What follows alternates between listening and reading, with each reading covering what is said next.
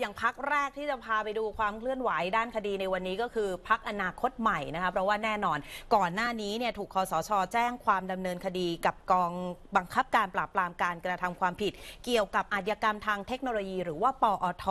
ในเรื่องที่ไปไลฟ์สด วิพากษ์วิจารณ์เรื่องของพลังดูดเนี่ยนะคะ ก็เลยกลายเป็นเรื่องของการฟ้องร้องคดีดำเนินคดีกันไป แต่ว่าวันนี้ค่ะ ทางหัวหน้าพักอนาคตใหม่ก็เดินทางมาเข้าพบอายการสูงสุดแล้วนะคะ ซึ่งก็บอกว่า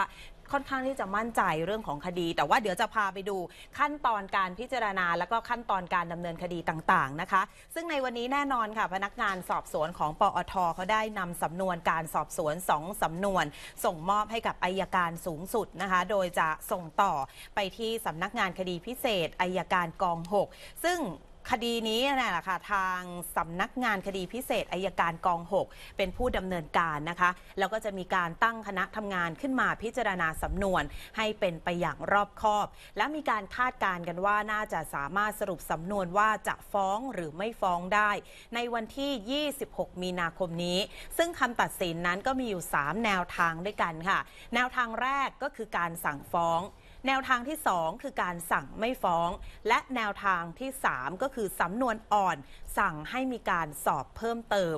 โดยอายการสูงสุดก็ยืนยันนะคะว่า คดีนี้เนี่ยไม่ได้มีความกังวลแต่อย่างใดในการพิจารณา แล้วก็ไม่มีใครที่สามารถมาแทรกแซงได้ แล้วก็ระบุว่าไม่มีคำสั่งฝากขังเป็นแนวทางตามกฎหมายอยู่แล้วค่ะ ฟังประเด็นนี้เพิ่มเติมจากรองโฆษกสำนักงานอายการสูงสุดกันค่ะ ในแนวทางปฏิบัติ ของพนักงานอัยการเนี่ยนะครับ การที่เราจะควบคุมผู้ต้องหาไว้ในระหว่างการสอบสวนหรือในชั้นพนักงานอัยการเนี่ยมันจะต้องมีเหตุตามกฎหมาย ก็คือผู้ต้องหาจะหลบหนี ผู้ต้องหาจะไปยุ่งเหยิงกับพยานหลักฐาน แต่ก็เรียนท่านสื่อมวลชนว่าคดีนี้ไม่มีพฤติการเช่นนั้น แล้วก็สำคัญที่สุดก็คือในชั้นสอบสวนนะครับ ก็เป็นการเข้าพบพนักงานสอบสวนพนักงานสอบสวนให้ทราบนัดแล้วก็ปล่อยตัวไป ซึ่งถ้าแนวทางปฏิบัติทุกคดีในชั้นพนักงานในการก็จะปฏิบัติภายใต้แนวทางเดียวกัน และกฎหมายฉบับเดียวกัน